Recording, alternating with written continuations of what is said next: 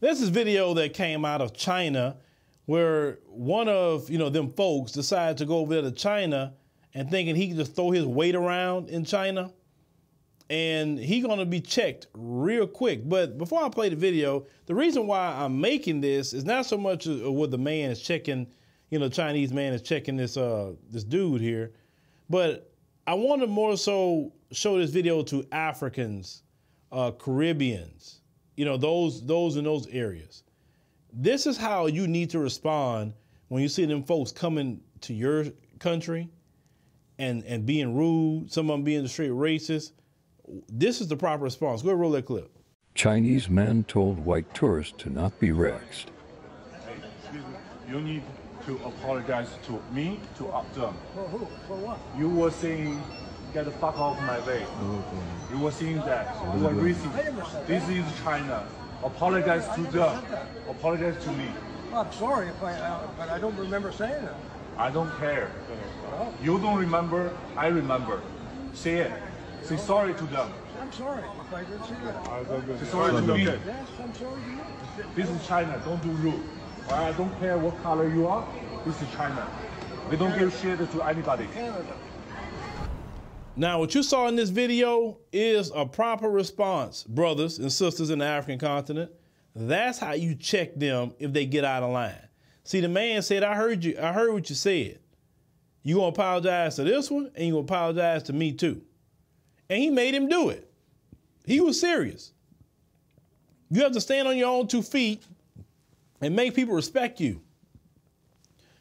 That man made the, the this dude here coming into his country made him have some act right.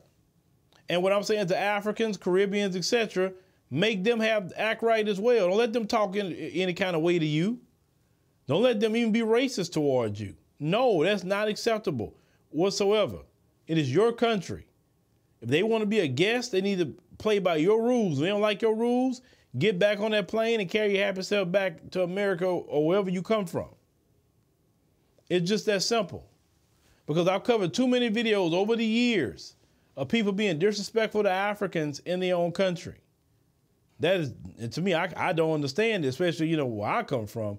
Because, like, how dare y'all that bold to go over there and do that? And I know some of you like to see these folks come in because you're thinking you about to get a little money from them.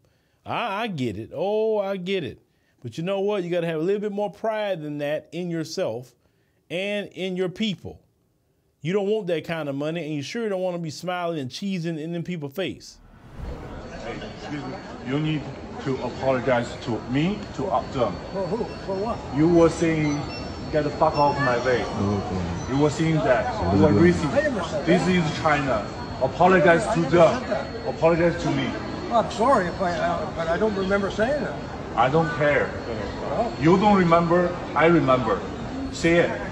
Say sorry to them. I'm sorry if I did say that. Say sorry to me. Yes, I'm sorry to you. This is China. Don't do rude. I don't care what color you are. This is China. They don't give shit to anybody. Canada. Because most of the people that's coming over there is not no millionaires or billionaires. They're average, everyday people. They walk around with them with them cargo shorts, cargo pants. And then a lot of times looking dusty while they're over there. But some of you just in their face smiling. I've seen it happen. Oh, I've seen it when I've been over there. And I and I always say that's sad. Have some doggone pride in yourself. Have pride in your country. Don't be sitting up there cheesing in people's face. They're not gonna, they're not gonna get you out your situation. Only you can get yourself out of out your situation. But this is the way that Africans, Caribbeans in particular, should be responding when they're dealing with this kind of treatment. But let me know what y'all think about, you know, this Chinese man. He was checking him, and I, like I said, bravo to him. I like to see it, and, and I love to see videos like this come out because the white supremacists they need to understand they they need to be put in a place as a guest in other people's country.